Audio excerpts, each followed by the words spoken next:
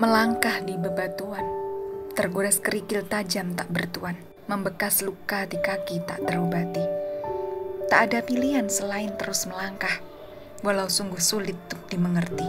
Mendaki bukit terjal dengan tepian bergerigi kasar, tergelincir karena emosi, hadirkan kekosongan di dalam hati. Bingung mau berbuat apa, tak ada ide ataupun motivasi.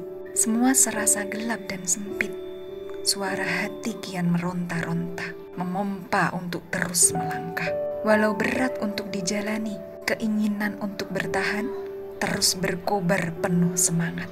Jalani saja hari demi hari, biarkan sang waktu berikan hasil di kemudian hari. Tuhan tidak pernah ingkar janji.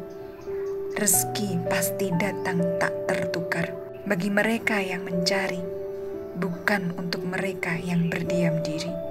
Hidup adalah arus yang harus diikuti bersama sang waktu yang terus berjalan tanpa mau berkompromi.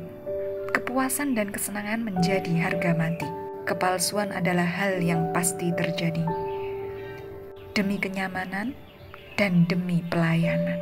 Ekspresi diri kian terkikis, terhimpit oleh topeng kemunafikan, membuat hidup terasa semakin stagnan.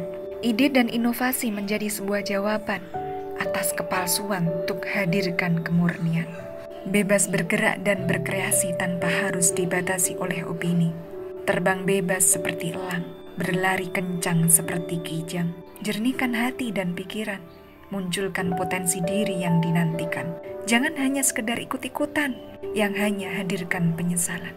Potensi diri adalah harga berharga terpendam di dalam diri menunggu sang pemilik mencari demi kebahagiaan yang sejati.